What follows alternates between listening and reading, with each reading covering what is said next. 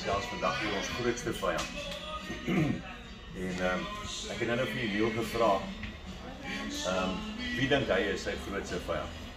Emil, wat sê jy toe vir my? Satan, Jy gaan almal af die masker. Satan die duiwel. Emil sê Satan die duiwel is sy grootste vyand. Nou ek het ook altyd so gedink want kyk die duiwel is 'n vyand.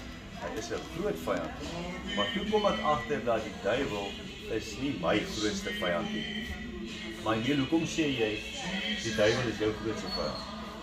Want as jy as jy as jy swak ken hoor. as, as jy swak punt het in jou lewe en jy en en en en en, en jy het 'n swak punt dan het die duiwel 'n oor 'n oormag oor jou op hy swak punt. Dit mense as jy die Here aanvaar het, jy kan nog steeds straf. Dis kom ek sê die duiwel is jou groot. Jy kan enige tyd trap al waar jy was. Ja. Enige. Ja, dis waar, né? Jy kan enige tyd terugval waar jy was. Maar ehm um, weet jy wat het ek geleer? Ek het geleer dat my grootste vyand is ek. Ek het geleer dat die duiwel kan my niks doen wat ek hom nie toelaat om te doen nie. En dan en by die kruisiging is die duiwel se krag is weggevat. Het nie meer krag nie behalwe dit wat Armand hom toelaat. Net dit wat Armand hom toelaat, kan die vyand aan my doen. En ek het uitgevind dat my grootste vyand is Armand. En dit is so belangrik dat ons ons vyand ken. Die grootste vyand is nie die duiwel nie. Ons kan nooit sê die devil made me do it. My grootste vyand is ek. En daarom weet ek ook dat as as Armand sterf en Jesus leef in my, selfs as Julius Malema hier kom en hy haat my. Hy sal nie anders nie as hy naweek tyd met my spandeer. gaan hy nie kan anders as om te sê, "Jessie, ek het probeer om daai ou te haat, maar ek kan hom nie haat nie." En ehm um, dit is so belangrik dat ons ons vyand ken. Nou ons het 'n keuse. Psalm Psalm 1 is baie duidelik. Psalm 1 is vir my die psalms is die hart van die Bybel. Here het ook gesê dat Dawid wat die meeste psalms geskryf het, is 'n man na sy hart. Nou die die psalms is ook in die middel van die Bybel. As jy die middel die psalm die Bybel so oopmaak in die middel lê psalms. En Psalm 1 is vir my die hart van die hart van die Bybel. Psalm 1 is baie duidelik. Dis nie twee weer. Dit is dit is hoe ek wat ek kies.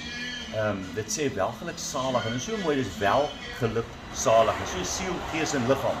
Welgeluk salig is die man wat nie wandel in die raad van die goddelose, nie staan op die weg van die sondaars, nie sit in die kring van die spotters nie, maar wat sy behaag het in die wet van die Here, met ander woorde die Bybel, wat die Bybel dag en nag oordink, sê die woord. En 'n so man sal wees. So man sal wees soos 'n boom geplant by waterstrome wat sy vrugte gee op sy tyd, waarvan sy blare nie verwelk nie. En alles wat hy doen, en wie wil dit nie hê nie? Alles wat so 'n man doen, 'n man wat die woord dag en nag oordink, alles wat hy doen, voer hy voorspoedigheid. So maak nie saak wat ek doen nie. Alles wat ek doen, voer ek voorspoedigheid. En dit is vir my absoluut um, en dit is die 2W, né? Dit is die kies. So basies my grootste vyand is ek, want ek moet dit kies. So die dit wat ek moet kies. En weet jy Emil wat so erg is? Wat so erg is is dat meeste mense gaan help. Die meeste mense op die aarde gaan help toe die woord sê so, nie Armand nie, die woord sê so. Die woord sê die volgende. Dit sê dat breed is die weg. Breed is weg. Breed is die weg wat lei na die verderf, wat lei na die hel. Baie is daar wat daarop gaan. Breed is die weg wat lei na die verderf, na die hel. Baie is daar wat daarop gaan. Baie. So die woord sê die pad, die pad is breed. So wie kry ons almal hier? Hier kry ons sodomiete. Hier kry ons egbreekers. Hier kry ons diewe, hier kry ons leenaars, hier kry ons moordenaars hierso. Hier kry ons hulle. So as ek 'n sodomiet is of ek is 'n homoseksueel of ek is 'n moordenaar of ek is 'n dief of ek is 'n egbreker, dan moet ek bekeer. Dan moet ek van my van my verkeerde weë ontslaa raak. Dan moet ek dit stop.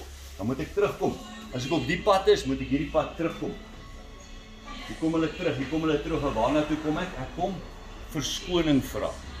Dan kom ek na die Here toe en ek sê Here vergewe my. Vergewe my. omdat ek 'n homoseksueel was, omdat ek 'n dief was, omdat in my geval 'n bekleier was, uh of of of 'n 'n egbreker of wat ook al. Ek moet daarvan moet ek bekeer.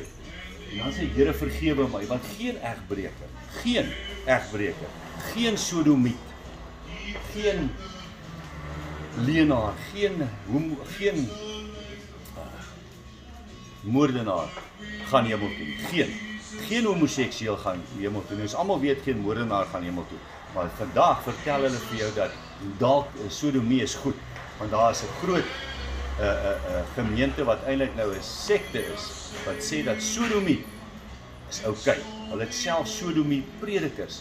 En sien jy wie is ons grootste vyand? Daai ouens, daai sinode is hulle grootste vyand, want hulle stel hulle nou bo God. So hulle sê die Heidelbergse katekismes of die of daai is bo die Here. Is bo die woord van die Here. Die woord van die Here is ons fondasie. As ek as ek ehm um, die woord weggooi of as ek die woord begin verdraai en verander dan uh, dan is ek 'n vyand van die Here. Die woord sê duidelik dan is ek sy vyand. En ek sal ek is 'n leenaar en ek sal nooit ooit die koninkryk van die Here sien nie. Geen homoseksueel, geen egbreker, geen leenaar, geen dief, geen moordenaar sal die hemel sien nie. Glad nie. Behalwe as hy bekeer van sy sonde en dan verander hy en dan kom hy op die pad. Dan gaan hy by daai kruis, dan vra ek om verskoning. Nee, nee. As ek dan 'n sodomiet is of ek is 'n wat ook al, dan kom ek na die kruis toe en ek sê Here vergewe my, dan is ek op die pad. Die Bybel sê die meeste mense gaan hel toe. Die Bybel sê smal is die weg, smal, nie breed nie, smal is die weg wat lei na die ewige lewe. Smal.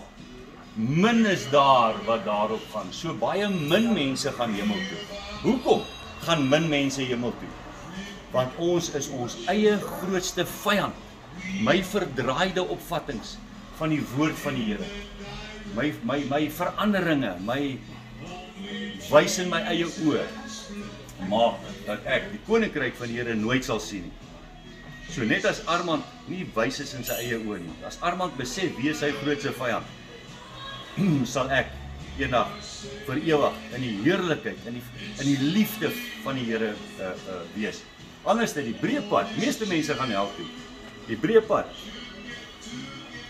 lei na die verderf.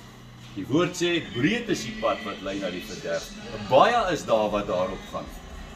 Smal is die pad wat lei na die ewige lewe. Min is daar wat daarop gaan.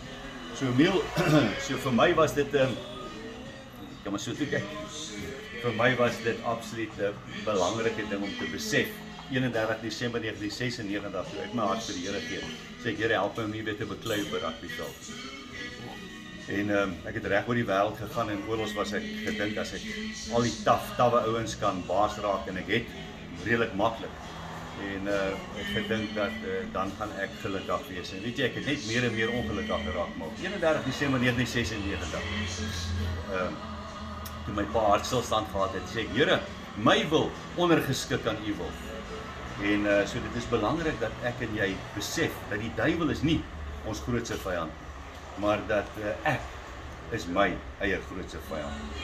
Tog ek wil dit net met julle deel en die mail het gesê wil dit my is bereid om ook dit met julle te deel. Maar dankie vir julle tyd. Die mail vra nou iets baie baie wat wat ek ook gevra het vir die Here is Here, ehm um, hoe kan ek begin? Ons ken vir Emil al 'n hele rukkie. Ehm um, hy het 'n vriend van Fernwold geword. Ehm um, en hy vra hoe kan hy weer terugkom? Hy teruggeval, hoe kan hy weer terugkom? Nee Emil, hoe kan hy weer terugkom by die Here? En dis hoe maklik is dit is dit ou die die vyand of 'n ou se eie denke laat 'n ou dink dat Luister, dit is amper onmoontlik. Jy het soveel verkeerde dinge gedoen dat jy dat jy nooit die Here gaan jy nooit vergewe nie. Jy's nou te sleg. En uh, dis wat wonderlik is en dis eintlik die beste plek waar ou is. Dis die eintlik die veiligste plek waar jy is is wanneer jy besef dat jy het gefaal en met jou eie krag en jou eie maniere het jy gefaal.